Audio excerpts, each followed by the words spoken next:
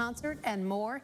CBS 47's Justin Sacher joins us live in the studio with the story. Justin. And Catherine, many things happening at once this Veterans Day in Clovis, all in an effort to honor our veterans. Those I talked to today say they enjoy seeing neighbors and old friends.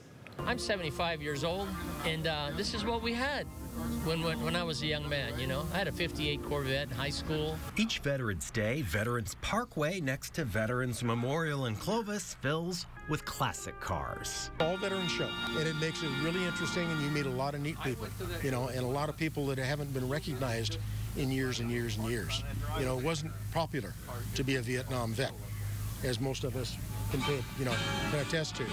But now it's uh, it's fun to get out and, and, do things like this. Lifelong friends who I never ever would have known had I not been into service with them. New friends too. Are you related? No, no, we're just good friends. Good friends? He's a car show person. You're a car show person. Okay, yeah. No, he's he's the one who uh, he has seven more old cars. My dad was a Chevrolet Buick dealer back in the 20s. What years were you in Korea? I got in right on the end. I was in 54.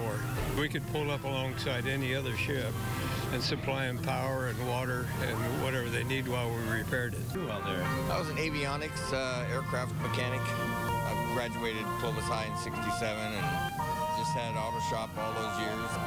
Used to be uh, a car painter, and which one is yours? oh, yeah. This rusty one. You get so much attention over a regular hot rod sometimes.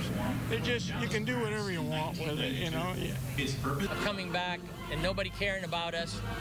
But hey, we're all friends and we still like it. And the, the memorial over here is just beautiful.